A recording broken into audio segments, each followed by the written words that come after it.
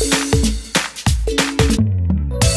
नमस्कार दोस्तों, आपका बहुत बहुत स्वागत है आपके अपने चैनल सक्सेस प्लेस में। इस बारे में हम बात करेंगे एक बेहतरीन शेयर के बारे में, जिसमें आप लॉन्ग टर्म का इन्वेस्टिंग कर सकते हैं। इसके लेवल्स और टारगेट सभी चीज़ों की बात करेंगे दोस्तों। हम स्टॉप लॉस भी आपको बताते हैं, आपको टारगेट भी बताते हैं और आपको ये भी बताते हैं मार्केट के अनुसार आपको किस प्रकार चलना है दोस्तों, क्योंकि मार्केट में कभी भी एक बड़ा करेक्शन देखने मिल सकता है। तो बड़ा करेक्शन में जैसे स्टॉक में गिरावट आता है तो आप स्टॉप लॉस को नहीं रखते हैं तो आपको एक बड़ा नुकसान दिखाएगा आपके शेयर में, जिसके कारण आप जो है उसको लंबे समय तक होल्ड करने की कोशिश करेंगे, या तो वो शेयर और नीचे आ जाता है तो आपको एक बड़ा नुकसान भी हो सकता है। तो दोस्तों, इसीलिए स्टॉप लॉस को रखना बहुत ही बहुत ज़रूरी है।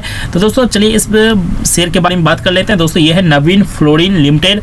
दोस्तों, जो केमिकल सेक्टर का स्टॉक्स है, उसमें काफ़ी मतलब तेज़ी देखने मिला है। पिछले कई सालों से उसमें जैसे आपको हो गया आरती इंडस्ट्रीज़, वो भी काफ़ी बेहतरीन शेयर है। Alkyne Amines Navin Fluorine Atul Limited, ये सारे बेहतरीन शेयर है जो केमिकल सेक्टर है स्पेशलिटी केमिकल सेक्टर है, उसके बेहतरीन स्टॉक में से ये सारे स्टॉक्स एक हैं। अब बात करते हैं हम दोस्तों इसके मतलब लेवल्स और टारगेट के सबसे पहले देखिए, ये इसका सपोर्ट लेवल है यहाँ पर। 571 इसका सपोर्ट लेवल है और यहाँ पर देख सकते हैं, ये काफ़ी लंबे समय तक इस प्राइस पर ये करेक्शन मोड में रहा। 2018 से लेकर के यहाँ पर आप देख सकते हैं 2019 मतलब 2017 के बाद और 2019 के लास्ट तक ये करेक्शन मोड में था।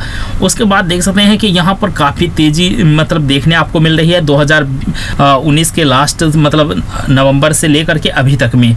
तो दोस्तों, समझ सकते हैं, इस समय के दौरान काफ़ी सारे स्टॉक्स में आपको गिरावट देखने मिल रहा है कई सारे स्टॉक्स में करेक्शन देखने मिल रहा है, वहीं इन सारे स्टॉक्स में आपको तेज़ी देखने मिल रहा है। तो दोस्तों, काफ़ी मतलब ये बेहतरीन बात है कि ऐसे समय अगर कोई स्टॉक्स तेज़ी दिखाता है तो काफ़ी अच्छी बात है।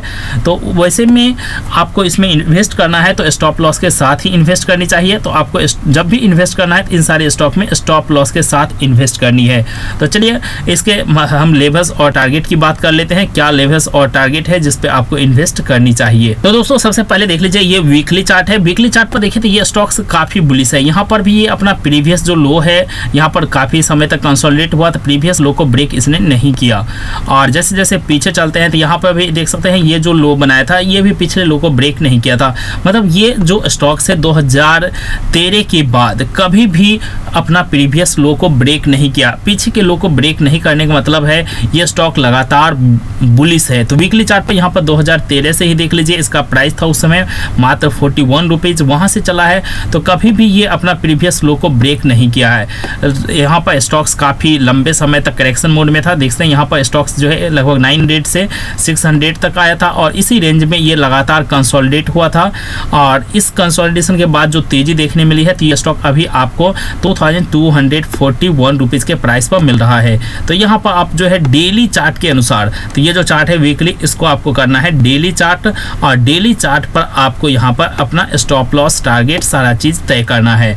तो यहाँ पर आप देख लीजिए, इसका जो सपोर्ट बन रहा है, वो है टू थाउज़ेंड का प्राइस इसका सपोर्ट बन रहा है, और ऊपर का जो ये प्राइस का लेवल है, ये ऊपर का जो टू थाउज़ेंड थ्री हंड्रेड उसको जैसे ब्रेक करता है टू थाउज़ेंड थ्री हंड्रेड को जैसे ब्रेक करता है तो यहाँ से आपको ऊपर एक बहुत बड़ी तेज़ी देखने मिल सकती है। तो जैसे 2300 को ब्रेक करेगा, ऊपर एक काफ़ी बड़ी तेज़ी देखने मिलेगा और इसका जो सपोर्ट प्राइस है वो है 2000 का प्राइस तो 2000 का प्राइस जो वो सपोर्ट प्राइस है और ऊपर का जो ये 2300 है, उसको जैसे ब्रेक करेगा तो ऊपर एक बहुत बड़ी तेज़ी देखने आपको मिलेगा।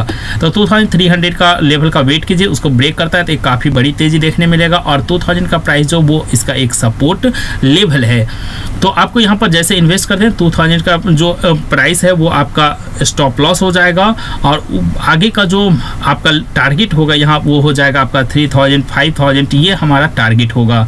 उसके बाद यहाँ पर हम लगाएँगे मंथली चार्ट मंथली चार्ट पर आप देख सकते हैं कि ये स्टॉक्स जो है बुलिस काफ़ी समय से है। मतलब यहाँ पर मंथली चार्ट पे भी देखिएगा 2013 से ही ये स्टॉक्स दिखाएगा बुलिस क्योंकि जब काफ़ी लंबा समय, जैसे पाँच साल, दस साल फिफ्टीन ईयर्स ट्वेंटी ईयर्स के लिए देखते हैं, अगर हम टेक्निकल चार्ट पर तो हम मंथली चार्ट का प्रयोग करते हैं। मंथली चार्ट पर यहाँ पर आप देख लीजिए, यहाँ पे भी आपको ये 2013 से ही स्टॉक बुलिस दिखेगा।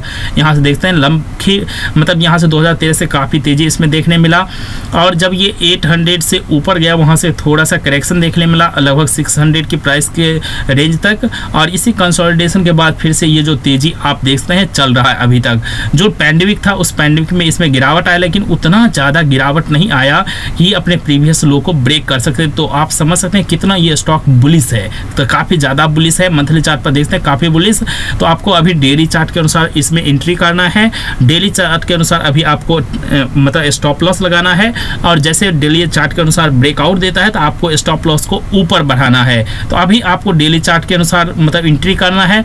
जैसे आपको छः महीना, साल भर हो जाता है तो आपको आपको वीकली चार्ट फॉलो करना है। वीकली चार्ट पर फॉलो करना है, और जैसे आप फाइव ईयर्स टेन ईयर्स के लिए इन्वेस्ट करना चाहते हैं तो दो साल, तीन साल के बाद आपको मंथली चार्ट पे देखना स्टॉक बुलिस है या बियरिस है। तो इस तरह से हम लॉन्ग टर्म इन्वेस्टमेंट करते हैं टेक्निकल चार्ट के अनुसार। तो अभी डेली चार्ट पर आपका जो ये प्राइस है, अभी मतलब अगर इन्वेस्ट करते हैं पोजिशन बनाते हैं तो टू का प्राइस आपका स्टॉप लॉस हो जाएगा टू के नीचे। और यहाँ से अगर ये ब्रेकआउट देता है तो जैसे ब्रेकआउट देगा, एक बड़ा तेज़ी देखने मिलेगा तो आपको स्टॉप लॉस को ऊपर बढ़ाना है, ताकि आपका प्रॉफिट जो है वो लॉक होता चला जाए। तो दोस्तों, ये हो गया इसका टेक्निकल अब चलते हैं हम इसके फंडामेंटल्स पर। तो फंडामेंटल्स पे सबसे पहले कंपनी का वैल्यूएशन को देखते हैं। कंपनी का वैल्यूएशन जो यहाँ पर क्लिक करते हैं कंपनी का वैल्यूएशन है eleven thousand crore market cap है इलेवन थाउज़ेंड करोड़ और यहाँ पर पी है ट्वेंटी फाइव का डिविडेंड है फाइव हंड्रेड फिफ्टी परसेंट और यहाँ से इंडस्ट्री का पी जो है ट्वेंटी एट है, जिससे हमारा इस कंपनी का पी काफ़ी कम है। उसके बाद अर्निंग पर शेयर है एट्टी सेवन रुपीज़ और इसका जो डिविडेंड इल्ड है, वो है zero point four nine percent dividend yield देख सकते हैं zero point four nine percent है। तो डिविडेंड इल्ड जो है मतलब जो कहा जाए तो और कंपनी की तुलना में कम है, जो अच्छे डिविडेंड देने वाली कंपनी है, लेकिन ओवरऑल अच्छा डिविडेंड है काफ़ी मतलब क्योंकि इस शेयर में काफ़ी मोमेंटम देखने मिला है अभी तक। उसके बाद कॉर्पोरेट एक्शन पर क्लिक करते हैं तो यहाँ पर आप डिविडेंड पर क्लिक कीजिए। तो यहाँ पर देख लीजिए, दो हज़ार बीस में तीन बार डिविडेंड दे चुका है, दो हज़ार उन्नीस में कई बार डिविडेंड दे चुका है कंपनी बोनस पे क्लिक करते हैं तो बोनस ये स्टॉक कभी नहीं दिया है। स्प्लिट पे क्लिक करते हैं तो इसका शेयर जो स्प्लिट हुआ फेस वैल्यू टेन से फेस वैल्यू दो में 2017 ईस्वी में। तो 2017 में ये जो है फेस वैल्यू टेन से फेस वैल्यू दो में स्प्लिट हुआ है 2017 में। वही बात करें शेयर होल्डिंग पैटर्न का तो शेयर होल्डिंग पैटर्न में देख लीजिए प्रमोटर्स का जो स्टेक है इसमें thirty percent thirty point five two percent है और two point nine eight percent share pledged है और प्रमोटर्स का स्टेक यहाँ लगभग कॉन्स्टेंट है थोड़ा सा डिक्रीज हुआ है। तो प्रमोटर्स का स्टेक कम है, इसलिए आपको इसमें थोड़ा सतर्क भी रहना है प्रमोटर्स का स्टेक कम है तो क्यों कम है, इसकी क्या वजह है? और साथ साथ प्रमोटर्स का स्टेक लगातार अगर कम होता है तो आपको इस शेयर में इन्वेस्ट नहीं करनी चाहिए तो इन बातों का भी आपको ध्यान रखना है। तो ये काफ़ी बेहतरीन बातें हैं, जो कि आपको ध्यान रखा जाता है। शेयर होल्डिंग पैटर्न प्रमोटर्स का किस प्रकार चेंज होता है? अगर स्टेक बढ़ता है तो कंपनी में हमें बुलिस साइन दिखाई देगा, और अगर प्रमोटर्स का स्टेक घटता है तो हम स्टॉक को बियरिस व्यू से देखेंगे मतलब स्टॉक में गिरावट या कहें करेक्शन देखने मिल सकता है। उसके बाद यहाँ पर इक्विटी शेयर कैपिटल लगभग टेन करोड़ के आसपास का है कंपनी के पास। और जो रिज़र्व सरप्लस है, देखते हैं फोर्टीन हंड्रेड करोड़ का है। तो रिज़र्व सरप्लस कंपनी का लगातार बढ़ा है। और नीचे चलते हैं तो यहाँ माइंड इंटरेस्ट ज़ीरो है। और लॉन्ग टर्म बोरोबिंग भी कंपनी का ज़ीरो है। नीचे चलते जाते हैं नन करेंट लाइबिलिटी मात्र थर्टी नाइन करोड़ का है। तो मतलब कंपनी डेट फ्री है। कंपनी के ऊपर कोई डेट नहीं है। तो ये काफ़ी पॉजिटिव साइन है। और जैसे जैसे नीचे चलते हैं टेंजिबल एसर्ट यहाँ पर सारी चीज़ें आप देख सकते हैं। और नीचे चलते हैं तो कंपनी के पास कैश और कैश इक्विवेलेंट जो है, दो करोड़ का कैश और कैश इक्विवेलेंट है। तो काफ़ी बेहतरीन सब चीज़ें इस कंपनी के पास, जो कि आप देख सकते हैं तो काफ़ी बेहतरीन स्टॉक्स है। अगर आप इसमें लॉन्ग टर्म के लिए इन्वेस्ट करते हैं या पोजिशनल ट्रेडिंग करते हैं या स्विंग ट्रेडिंग करते हैं तो काफ़ी बेहतरीन स्टॉक है। तो दोस्तों, उम्मीद करते हैं ये वीडियो आपके लिए हेल्पफुल रहा होगा। वीडियो को लाइक कीजिएगा, अपने दोस्तों के साथ शेयर कीजिएगा। चैनल पर पहली बार आए हैं तो चैनल को सब्सक्राइब करके बगल के बेल आइकन को दबा लीजिएगा। फिर मिलते हैं अगले वीडियो में के लिए जय हिंद।